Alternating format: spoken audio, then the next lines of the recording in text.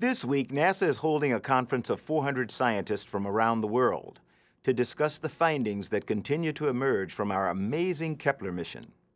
These scientists, both inside and outside government, will continue to explore potential planets outside our solar system for years to come based on the spacecraft's groundbreaking work. Conference participants are reporting many amazing findings.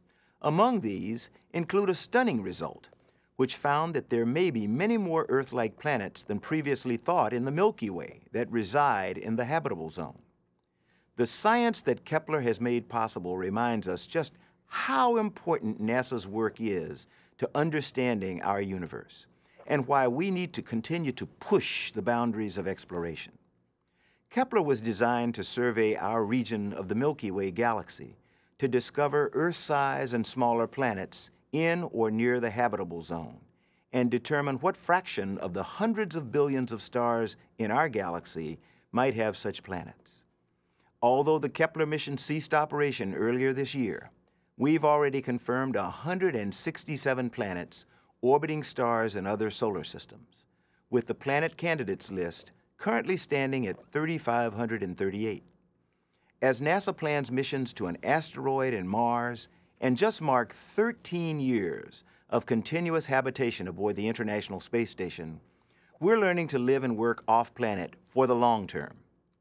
We're working hard to revolutionize humanity's ability to reach and live in other places than our home planet.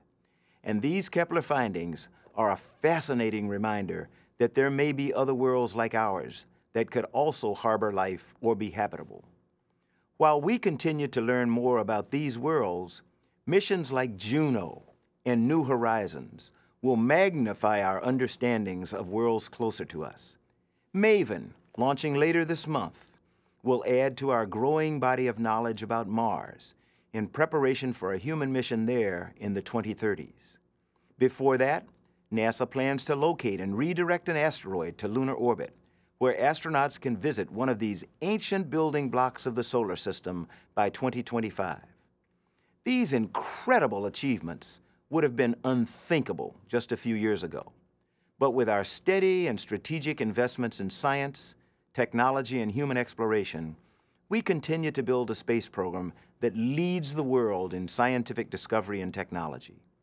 I congratulate the entire Kepler team on their continued discoveries and look forward to science and exploration working together to help NASA write the next great chapter of the human experience.